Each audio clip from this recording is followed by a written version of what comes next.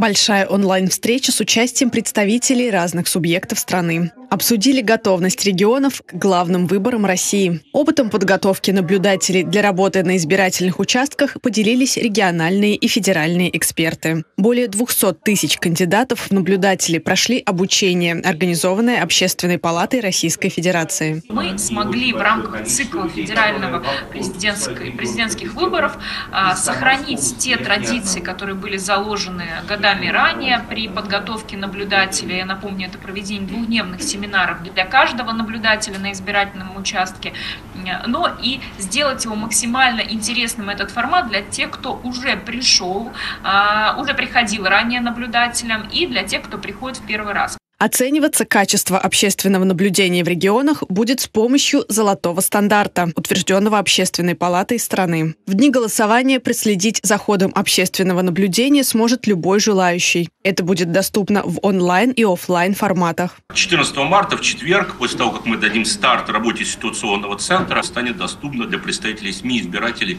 вся дополнительная информация. Естественно, будем в ходе наблюдения всю эту информацию выкладывать, в том числе здесь проводить брифинги.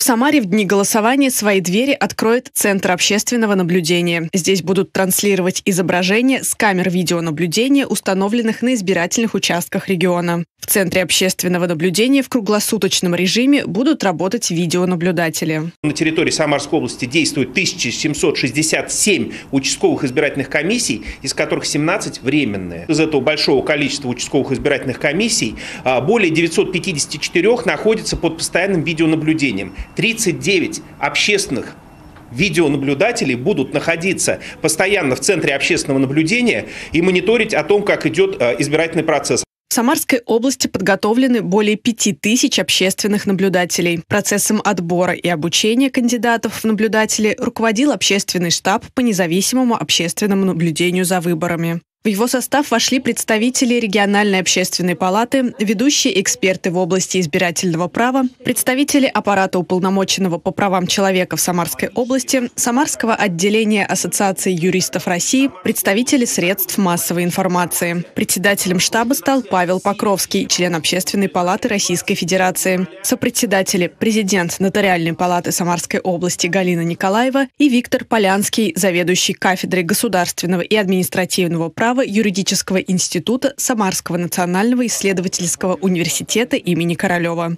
В состав общественного штаба вновь вошла генеральный директор телеканала «Самара ГИС» Елена Кольцун. Галина Топилина, Николай Епифанов. События.